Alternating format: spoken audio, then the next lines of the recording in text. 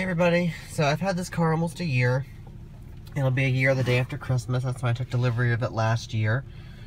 Um, you notice it's on winter tires right now, it's on 17 inch wheels, um, and Bridgestone Blizzak WS80s. Um, make sure there's no water in the lens before I keep going here, and it looks good. Alright, um, obviously it's raining. Um, this is pretty much the only good day I have to do an update video, so... What's gone wrong with the car? Nothing. Um, so good news there. In terms of mileage, let's take a quick peek. It's got just over 12,000 miles on it. Average MPG on this tank, 27 and a half. Obviously it's getting colder out, gets about 30 miles to the gallon. In the summer, 29, 30, and then the winter, um, about 24, 25. So really good average mileage I get in this thing. My normal commute's about 40, 45 miles an hour on a road without much stopping, but there is a decent amount of hilly type terrain.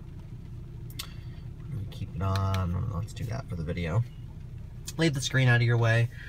This is gonna be kind of a point of view drive. It kind of fits underneath my chin and breastbone or whatever bone that is, so I'll be hands-free. I have the car set up uh, and let's put it into individual mode. So right now the steering's in dynamic. Engine and transmission are in auto. Engine sound is in auto. And the adaptive cruise control, which I'm probably not going to demonstrate. Um, although I suppose I could. If I get a chance to, I will.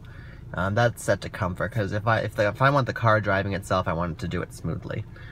And the rain sensor is going to be on with that sensitivity unless you happen to see me fiddle with it.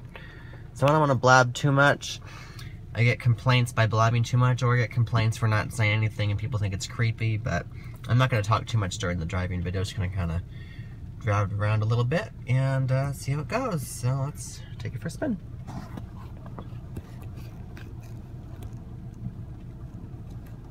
Yeah, hopefully that's good.